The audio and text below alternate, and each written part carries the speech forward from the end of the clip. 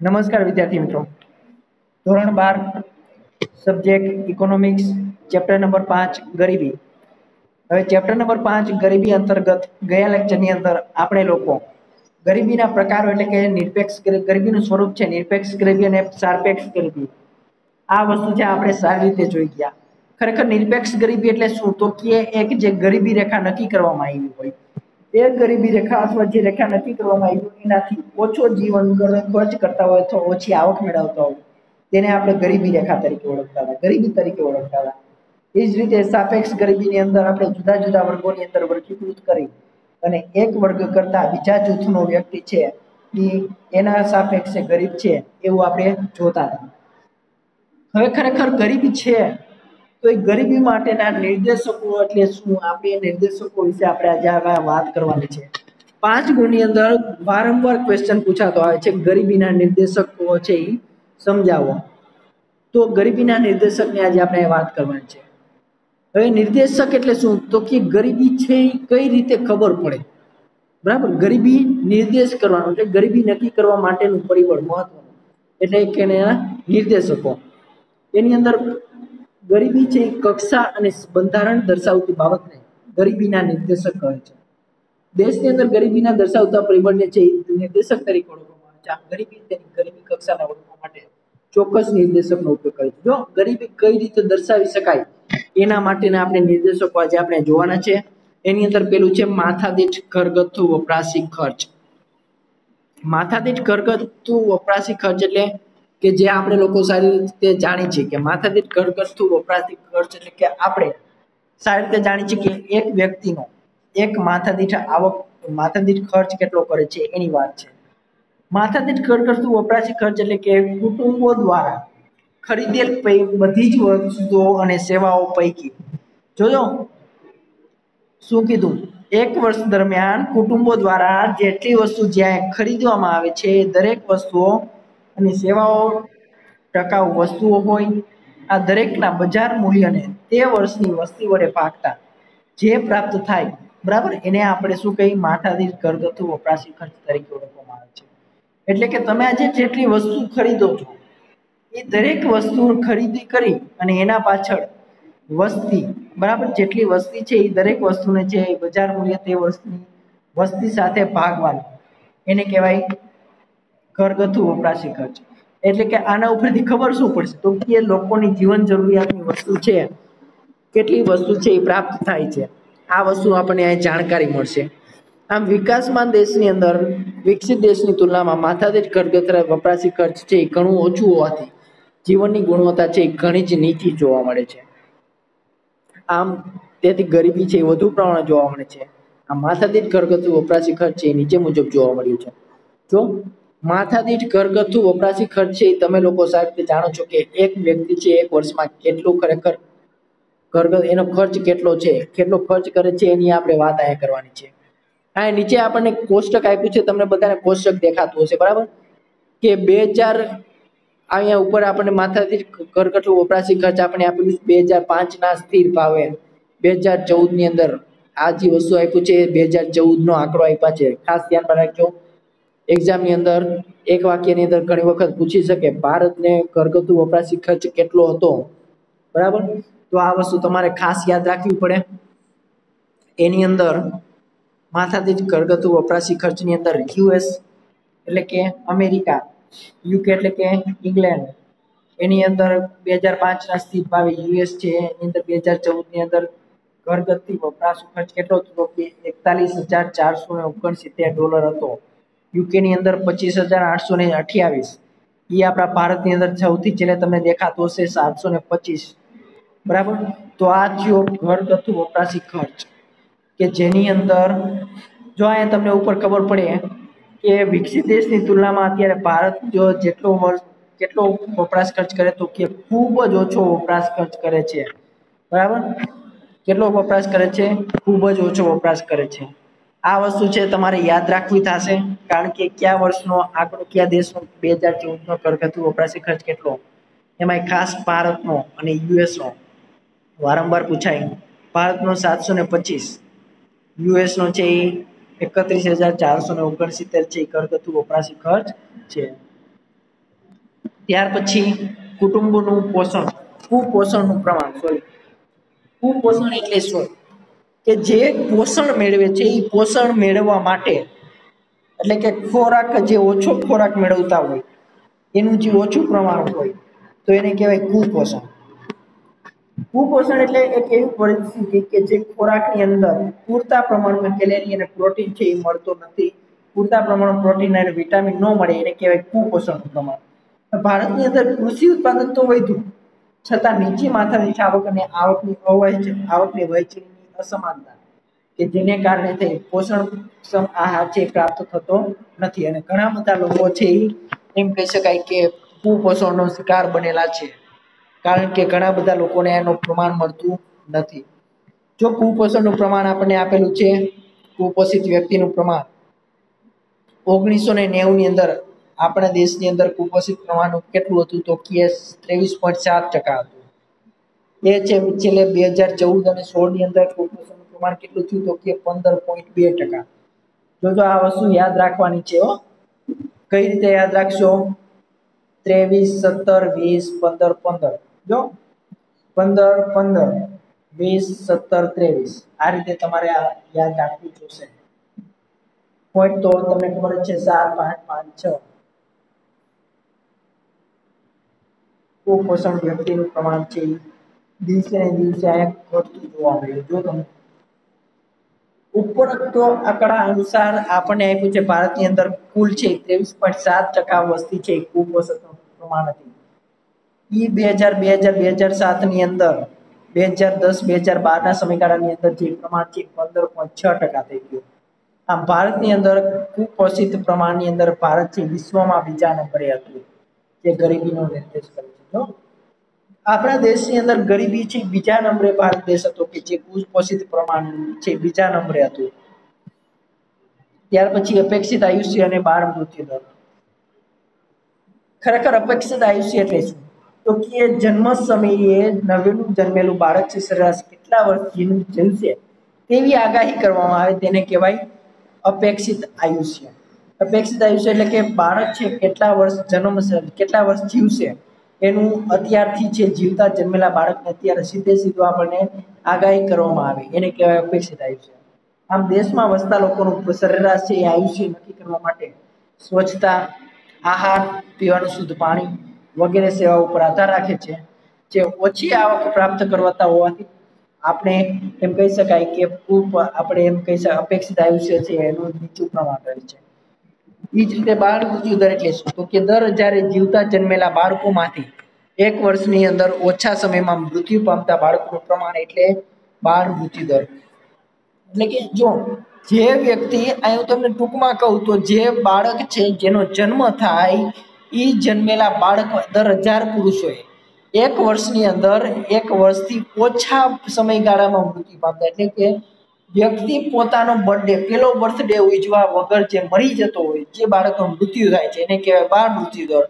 બાળ મૃત્યુ દરનું પ્રમાણ છે સ્વાસ્થ્ય અને સેવાની તેમજ માતામાં શિક્ષણનું પ્રમાણ, રસીકરણ, પોષણક્ષમ આહાર વગેરેના ઉપર આધાર રહે છે, જેને કારણે નબળી આરોગ્ય સેવાને કારણે છે એ ગરીબીનો નિર્દેશક ધરાવે છે.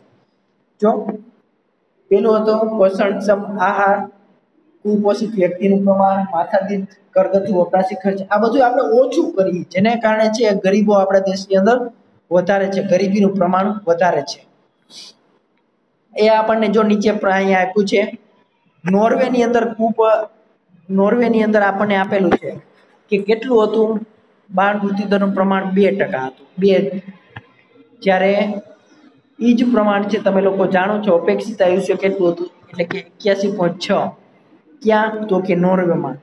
હવે એની જ સામે ભારતની અંદર તમે બે હજાર ચૌદના આંકડાની વાત કરશો તો અડસઠ છે એ. અડસઠ પ્રમાણ છે એ અપેક્ષિત આયુષ્યનું પ્રમાણ. કેટલું છે? અડસઠ વર્ષ. એટલે કે બાળક વ્યક્તિ છે એ સરેરાશ અડસઠ વર્ષ જીવે છે. પેલા છે એસી વર્ષ, અત્યારે વિકસિત દેશની અંદર કેટલું જીવે તો કે એક્યાસી વર્ષ. એ અત્યારે કેટલું જીવે? અડસઠ વર્ષ. બે હજાર ચૌદનો આંકડો આપ્યો. બરાબર? ટૂંકમાં સરેરાશ અડસઠ વર્ષ. કોઈ વ્યક્તિ છે પહેલાના સમયની અંદર તમને બધાને ખબર સો સો વર્ષ જીવતા એ હવે છે સો વર્ષ કોઈ જીવવાનું નથી. કારણ ખોરાક બધા બહાર નથી ગયા. જે પ્રોટીન મળતો ખોરાક એ બધો પ્રોટીનક્ષમ આહાર છે પોષણક્ષમ આહાર છે, હવે મળતો નથી. બાળ મૃત્યુ દર એટલે પેલા વિકસિત દેશની અંદર બે હતું.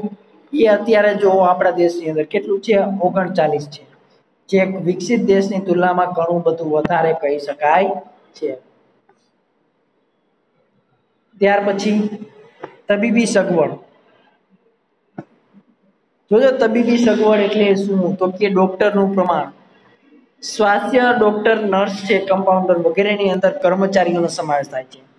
તેની અછત સ્વાસ્થ્ય અને સેવાને પ્રતિકૂળ અસર કરે છે. ભારતની અંદર આંતરરાષ્ટ્રીય તુલનાએ તબીબી સગવડ છે એ ડોક્ટરની અછત ડોક્ટરની અછત જોવા મળે છે. જો આના કારણે પણ આપણે લોકો છે એમ કહી શકાય કે આપણા ગરીબી લોકો છે એના કારણે એનું મહત્વનું કારણ શું? તો કે એમ કારણ આ પણ છે કે જે ડોક્ટરો ઓછા છે, કે જેથી કરી લોકો સારવાર મેળવી શકતા નથી. વિકસતા ગરીબ દેશની અંદર લોકોની તબીબી સગવડ ઓછી હોય છે અને વારંવાર છે લોકો રોગોનો ભોગ બનતા હોય છે, જેના કારણે પૂરતો પૌષ્ટિક આહાર પણ એને મળતો નથી. રોગ પ્રતિકારક શક્તિ ઓછી હોય છે, જેથી કરીને તે આરોગ્ય વિષયક સેવાઓ ઓછી હોવાને કારણે તે મૃત્યુ પામતા હોય છે. આમ વિકસિત દેશની પ્રમાણની અંદર વાત કરીએ તો ત્રણસો ને પચાસની વસ્તી માટે એક ડોક્ટરની સેવા ઉપલબ્ધ હતી. આમ વિકસતા દેશની અંદર દર લગભગ એક પોઈન્ટ સાત કરોડ લોકો મેલેરિયા ક્ષય જેવા રોગથી મૃત્યુ પામે છે. જો તમે લોકો સારી રીતે જાણો જોઈએ કારણ કે જે વસ્તુ રહી આપણા દેશની અંદર ડૉક્ટર અને કર્મચારી ડૉક્ટરનું પ્રમાણ છે ઓછું હોવાને કારણે ઘણા બધા લોકો એક પોઈન્ટ સાત કરોડ લોકો તો ખાલી ડાયેરિયા, મેલેરિયા છે સહી જેવા રોગથી ખાલી મૃત્યુ પામે છે. અને દુનિયામાં લગભગ બે પોઈન્ટ ત્રણ કરોડ લોકો તો ખાલી એડ્સના ભોગ બન્યા છે. એમાં નેવું ટકા વિકસતા દેશમાં છે. જો દુનિયામાં બે પોઈન્ટ ત્રણ કરોડ લોકો છે એડ્સનો ભોગ એમાં એમાંથી નેવું ટકા લોકો તો ખાલી આપણા જેવા, ભારત જેવા દેશના, વિકસતા દેશના છે. દસ ટકા જ લોકો એવા છે, દસ ટકા જ લોકો એવા છે કે જે એમ કહી શકાય કે દસ ટકા લોકો જે વિકસતા વિકસિત દેશના છે, અમેરિકા જેવા દેશના. ત્યાર પછી પીવાનું પાણી. પીવાના પાણીની અંદર જનસમૂહનું સ્વાસ્થ્ય સૌથી વધુ સુરક્ષિત પીવાલાયક પાણી. સ્વચ્છતાની સગવડ સાથે સંકળાયેલું છે. દૂષિત પાણી શુદ્ધ, પૌષ્ટિક ખોરાક અભાવ વગેરે છે, એ પરિબળો છે, અનેક રોગોનું કારણ બને છે. આમ વસ્તી ગણતરીની બે હજાર અગિયારની અંદર આપણે વાત કરી તો એએસક્યુ ત્રેસઠ પોઈન્ટ ત્રણ ટકા લોકોને નળ દ્વારા શુદ્ધિકરણનું પાણી મળતું હતું. અને આઠ પોઈન્ટ સડસઠ ટકા લોકોને નળ દ્વારા શુદ્ધિકરણ ન કરેલ પાણી. અને છવ્વીસ ટકા લોકોને કૂવા, હેન્ડપંપ, ટ્યુબવેલ એટલે કે મોટર, ઝરણા, નદી, નહેરો, તળાવ વગેરેનું પાણી પીવું પડે છે. જે શુદ્ધ પાણીના પીવાના ગેરહાજરીમાં ગંદુ પીવા, પાણી પીવાથી પાણીજન્ય રોગ થવાથી છે એ ગરીબીની સમસ્યા ગંભીર બને છે. ત્યાર પછી શૌચાલયની સુવિધા. જોજો ખાસ, ભારતની અંદર વસ્તી ગણતરીની માહિતી અનુસાર કુલ વસ્તીના સિત્તેર ટકા વસ્તી ગામડાની અંદર રહે છે, જેમને પાણીજન્ય ચેપી રોગ થવાની શક્યતા વધુ છે. આનાથી બચવા માટે મહત્વની શૌચાલયની સગવડની તમને જો નીચે આપ્યું, સો કુટુંબોએ છાસઠ ટકા કુટુંબો એવા છે કે જે કુટુંબોને શૌચાલયની સગવડવાળા હોય. બાકીના ચોત્રીસ ટકા કુટુંબો છે એની અંદર સગવડ છે નહીં. હવે ચોત્રીસ ટકા કુટુંબો છે એ સગવડ ન હોય તો એને ક્યાં જાય? તો કે બાર બજારની અંદર શૌચાલય છે માટે ખુલ્લામાં જતા હોય છે.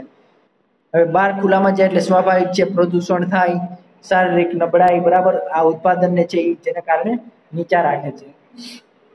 આ પણ એક ગરીબી માટે ખૂબ જ ઉપયોગી છે. ત્યાર પછી રહેઠાણ. ગરીબીના નિર્દેશક તરીકે રહેઠાણો તેનું સ્વરૂપ એક નિર્દેશક છે. વિકસતા દેશની અંદર રહેઠાણની તંગી લોકો ગંદી ચાલે ઝૂંપડીની અંદર રહે છે. માપદંડ છે. જોજો ખાસ અહીંયા આપણને આપ્યું જો રહેઠાણનું મકાન ઓરડા છે, રહેનારાની સંખ્યા, ડ્રેનેજ, વીજળી, સગવડતા વગેરે છે એ ધરાવતા, સગવડ વગેરે સગવડ ધરાવતા છે, ટકાવારી ગરીબીની સગવડતા ખૂબ ઓછા હોય.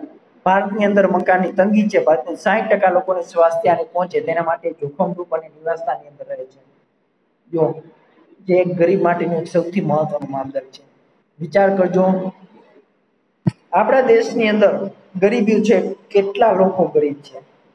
અને જેને કારણે લોકો છે, ગામડાની અંદર વીજળી છે, પાણી છે, એ વસ્તુ નથી મળવાને કારણે ગટરની વ્યવસ્થા, સુખ વ્યવસ્થા ન મળવાના કારણે લોકો શહેરી ક્યાં જશે, શહેરી તરફ જશે અને શહેરી તરફ સ્થળાંતર પાસે અને શહેર બાજુ જવાને કારણે શહેરની અંદર મકાનો ઓછા હોય છે, જેથી લોકો આવક ઓછી હોવાને કારણે મકાન હોય તો લોકો એના ભાડા નથી ભરી શકતા. જેને કારણે લોકો ક્યાં તો કે દરિયા કિનારાના વસવાટ હોય, બરાબર?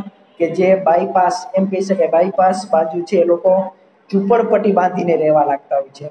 અને જેને કારણે છે, આમ એમ કહી શકાય કે જેને કારણે ખૂબ જ ગંદકી વાળો ફેલાતો હોય છે. ત્યાર પછી વીજળીનો વપરાશ.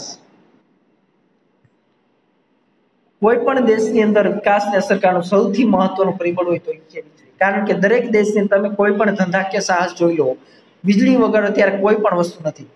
આમ ઉત્પાદન વધારવા માટે, જીવનની ભૌતિક ગુણવત્તા સુધારવા માટે પણ વીજળી ખૂબ જ મહત્વની છે. ભારત એક વીજળીનો સૌથી મોટો ઉત્પાદક અને વપરાશ કરતો દેશ છે. આમ છતાં વધુ વસ્તી અને ઓછી માથાદીઠ આવક ધરાવતું હોવાથી વીજળી છે એ વપરાશ ખૂબ જ ઓછો છે. તો ભારત સૌથી મોટો ઉત્પાદક ધરાવતો દેશ છે. વીજળીનું સૌથી મોટું ઉત્પાદન કરે છે અને સૌથી મોટું વપરાશ કરે છે. એના કારણે થઈને છે, આપણા દેશની અંદર ઓછી માથાદીઠ આવક હોતી માથાદીઠ વીજળીની વપરાશ છે ખૂબ જ ઓછો થાય છે, જો. આપણા દેશની અંદર વીજળી સૌથી વધારે ઉત્પાદન કરે છે, સૌથી વધારે વાપરે પણ છે. પણ સ્વાભાવિક છે, ગરીબ હોવાને કારણે હજી પણ એમ કહી શકાય કે આપણે લોકો છે એ વીજળીનો ઓછો ઉપયોગ કરી શકીએ છીએ. ત્યાર પછી શિક્ષણ. વિશ્વ બેંકની માહિતી અનુસાર પંદર બેંક કે પંદર વર્ષના કે તેથી ઓછા લોકો કે જે વાંચી અને લખી શકે તેને કહેવાય સાક્ષર. અને જે વાંકી ન વાંચી લખી ન શકે તેને કહેવાય નિરક્ષર, જે મોટે ભાગે ગરીબ હોય છે. શિક્ષણ અને તાલીમનું ઓછું પ્રમાણ અકુશળ હોય ઓછી ઉત્પાદકતા હોય. આ બધા જ લોકો જે વ્યવસાય રોજગારીની તક છે, પસંદગીઓ છે, એ મર્યાદિત બને છે. પરિણામે વેતન અને ઓછી આવકને કારણે ગરીબી વધે છે. જો આપણને એક્ઝામ્પલ આપ્યું છે, બે હજાર અગિયારની અંદર બ્રાઝિલની અંદર સાક્ષરતાનો દર કેટલો હતો તો કે એકાણું ટકા. બ્રાઝિલની અંદર સાક્ષરતાનો દર હતો એકાણું ટકા, ભારતની અંદર ચિમોતેર પોઈન્ટ ચાર ટકા નેપાળમાં છાસાઠ ટકા. જો એક વાક્યની અંદર ખાસ પૂછે, બે હજાર અગિયારમાં ભારતમાં સાક્ષરતાનો દર કેટલો હતો? તો લખવું પડે ચિમોતેર ટકા એએસક્યુ ત્યાર પછી આ અજ્ઞાતતાનું પ્રમાણ છે એ ખૂબ જ ઊંચું હોવાથી તે ગરીબીનું છે એ પ્રેરક ગુણ બને છે. ત્યાર પછી દસમું છે આવક અને સંપત્તિની અસમાનતા. હવે આપણા દેશની અંદર જેટલી આવક છે, જેટલી સંપત્તિઓ છે, એ બધી અસમાન રૂપે વહેંચાયેલી છે. કારણ કે ઓગણીસો ને એકાણું બાદ આર્થિક સુધારા બાદ, એટલે કે જે તમે બધા લોકો સારી રીતે જાણો છો. બરાબર કે ઉદારીકરણ વૈશ્વિકીકરણ અને ખાનગીકરણ. બરાબર જે સારી રીતે તમે જાણો છો. જે આર્થિક વૃદ્ધિ અને માથાદીઠ આવકની અંદર ઝડપી વધારો થયો હોવા છતાં, આવકની અસમાન વહેંચણીને કારણે છે ગરીબાઈની અંદર મોટા પ્રમાણ ઘટાડો નોંધાયો નથી. જે ઉચ્ચ જીવન ધોરણ છે એની સગવડો છે એ ભોગવતો ધનિક વર્ગ હોય તો બીજી તરફ મકાન વિહોણા તેમજ ગંદા વસવાટની અંદર વસતા લોકો જો ખાસ ધ્યાનમાં રાખજો. ગરીબીની અંદર મોટા પ્રમાણમાં ઘટાડો નોંધાયો નથી. અને એક તરફ છે જીવન ધોરણ, ઊંચી જીવન ધોરણ, સુખ સગવડ ધરાવતો વર્ગ હોય, તો બીજી વર્ગ છે ધનિક વર્ગ છે, બીજી તરફ ઓછી આવક ધરાવતો વર્ગ હોય. એટલે કે વધુ ગરીબો છે વધુ ને વધુ ગરીબ બનતા જાય છે, ધનિક વર્ગ છે વધુ ને વધુ ધનિક બનતો જાય છે.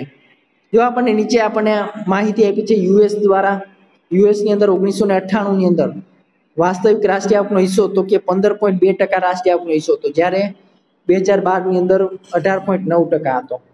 ભારતનો વાર્ષિક આવક રાષ્ટ્રીય ભારતનો છે એક ટકા વસ્તી પાસે રાષ્ટ્રીય આવકનો હિસ્સો કેટલો તમારે લખવું પડે બાર પોઈન્ટ છ ટકા. ઓગણીસો અઠ્ઠાણુંની અંદર નવ ટકા છે એ રાષ્ટ્રીય આવકનો હિસ્સો છે. બરાબર? ટોચની એટલે એક ટકા વસ્તી. એટલે કે જે ધનિક વર્ગ છે એ એક ટકા વસ્તી પાસે મુકેશભાઈ અંબાણી જેવા પાસે. એક ટકા વસ્તી પાસે છે એ વાસ્તવિક રાષ્ટ્રીય આવકનો છે એ નવ ટકા હિસ્સો એના પાસે. વિચાર કરો, સો ટકામાંથી નવ ટકા તો ખાલી ધનિક વર્ગ પાસે છે. ત્યાર પછી બેરોજગારીનો ઊંચો દર. હવે બેરોજગારી ઊંચો દર અને બેરોજગારીનો ઊંચો દર એટલે કે પ્રવર્તમાન વેતન દરે કામ કરવાની ઈચ્છા શક્તિ લાયકાત રાવતો એને કામ ન મળે એને આપણે બેરોજગારી કહેતા હતા.